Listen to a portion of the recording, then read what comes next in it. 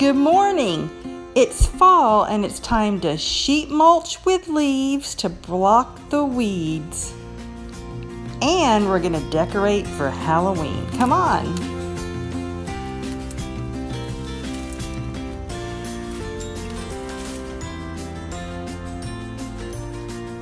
I practice what's called chop and drop.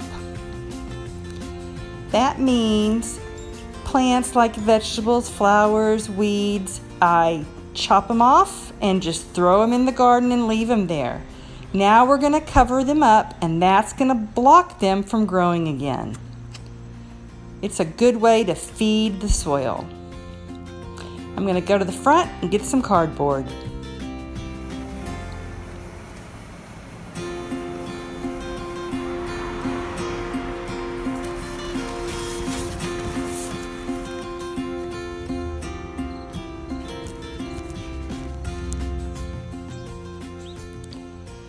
Fall sheet mulching is the secret to my growing success. It's the one priority for my success.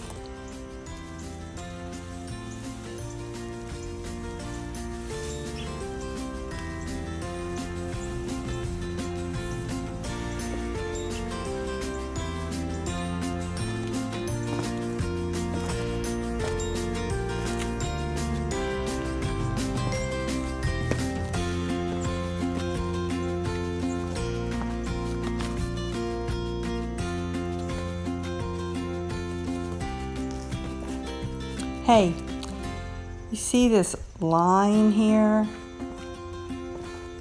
And this line here?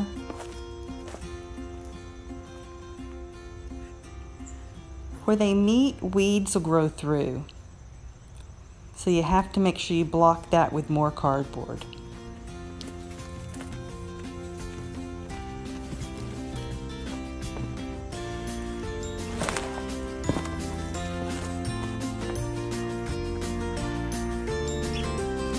This edge I leave so that fall vegetables can continue to grow.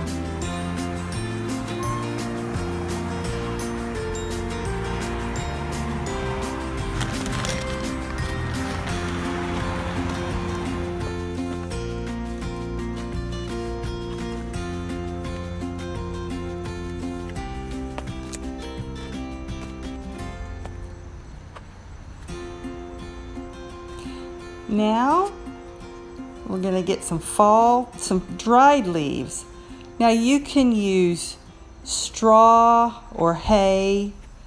You can also buy wood mulch. If you use fresh wood chips, then you can't plant right away. You have to wait for those wood chips to break down.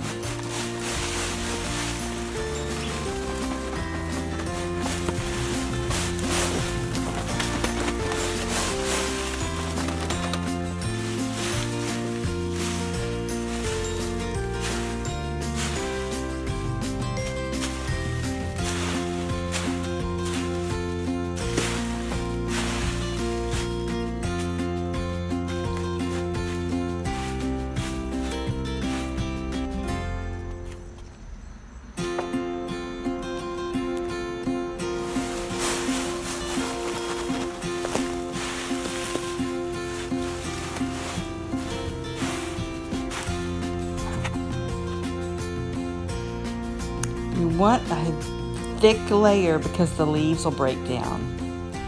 Now I'm limited because I only have four bags.